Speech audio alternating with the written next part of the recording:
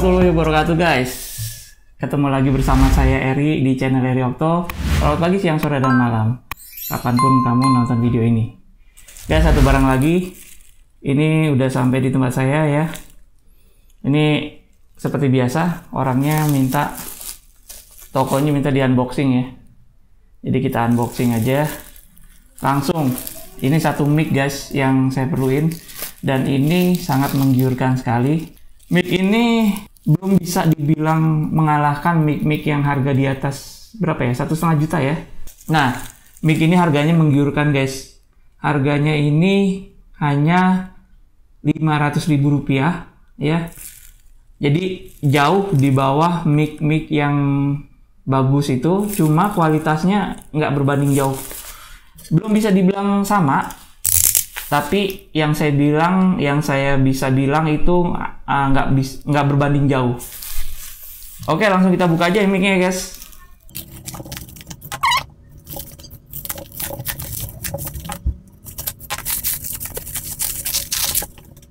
Nah ini dia penampakannya guys ya.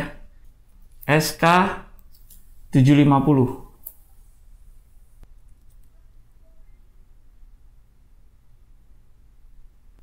yang agak lucunya yang saya juga ketawa waktu nontonin video orang baca dong wireless ya bukan wireless. Ya ini dia.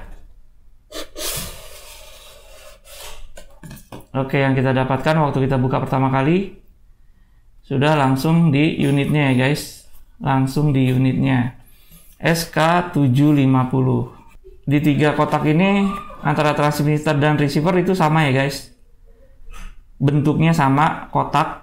Tidak ada pembeda yang hanya pembeda itu hanya di gambar mic sama gambar transmitter. Receiver ya ini receiver ya. Hanya itu aja. Kotaknya bentuknya sama.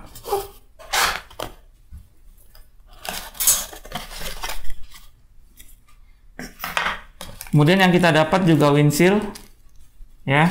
Dua buah windshield yang diperlukan untuk micnya. Kemudian selanjutnya di dalamnya ada kabel-kabelnya. Ya di dalam ini ada kabel-kabelnya itu.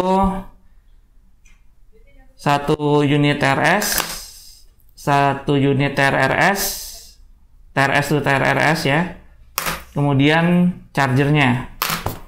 Kemudian ada buku manualnya guys ya buku manualnya ini seadanya ya. Dia cuma quick user guide dari bahasa Inggris sama bahasa Cina. Udah itu aja yang kita dapat di dalamnya.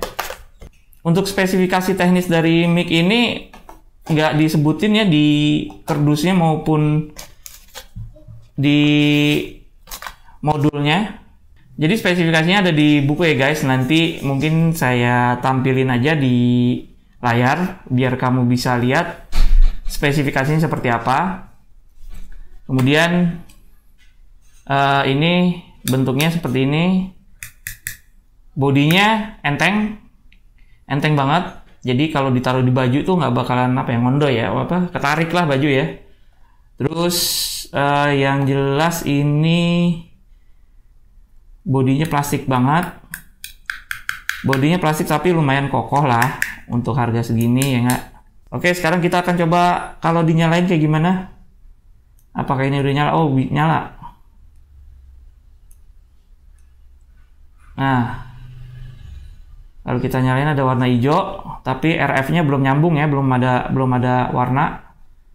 Di sini RF nya di sebelah sini belum ada warnanya kemudian kita nyalain micnya. Kita nyalain. Pertama warna RF nya merah kemudian warna hijau ya. Itu kalau satu coba kalau dua. Oke kalau kita nyalain dua-duanya yang satu RF nya warna merah yang satu warna biru kemudian untuk receivernya dia warnanya ungu jadinya. Kalau misalkan cuma satu dia warna receivernya warna merah. Udah kayak gitu aja indikatornya guys Oke, sekarang akan kita coba sambungin suaranya ya, guys. Oke, guys. Berikut ini adalah suara dari wireless clip-on SK750 gimana suaranya?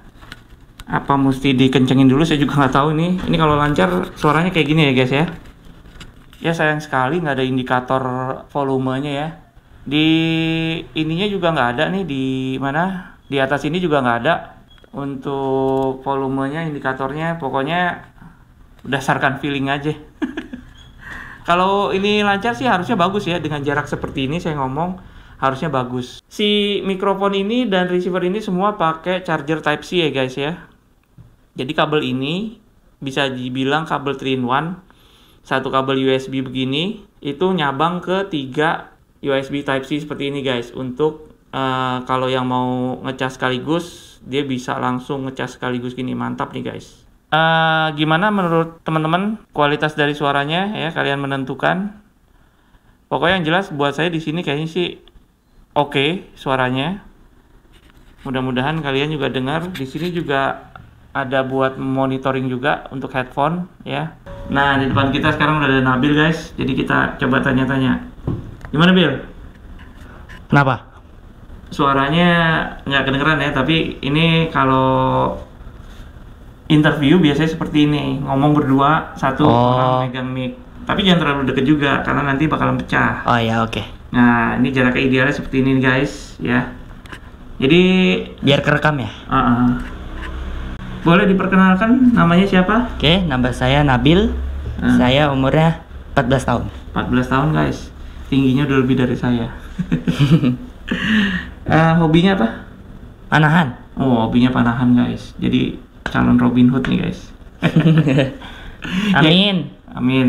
Kira-kira seperti itu ya guys ya, kalau kita mau pakai buat dua orang. Jadi oke okay, terima kasih Bill. Ya. Jadi untuk perekaman dua orang kira-kira seperti itu bisa dilihat nanti hasilnya seperti apa. Saya juga belum coba dengerin ya, belum coba mantau. Nah, kira-kira seperti itu guys. Review dari mic ini gimana? Apa ini bikin kalian tertarik untuk mencoba? Kalau kalian tertarik, link pembelian di toko saya ada di bawah ya karena tokonya lumayan cepat untuk ngerespon dan mengirimkan barang ini. Jadi ya saya cukup rekomendasikan lah ya buat kalian. Oke jangan lupa uh, selalu dukungannya ya buat kalian yang baru menemukan channel ini. Jangan lupa untuk subscribe di bawah sini guys. Ya komen di bawah gimana pendapat kalian tentang mic ini. Ya komen tentang apa aja lah di bawah ini yang berhubungan dengan mic ya tentunya ya. Kemudian share video ini jika video ini bermanfaat buat semuanya. Like juga jangan lupa ya. Sampai ketemu di video-video selanjutnya. Sampai jumpa. Assalamualaikum warahmatullahi wabarakatuh. Ciao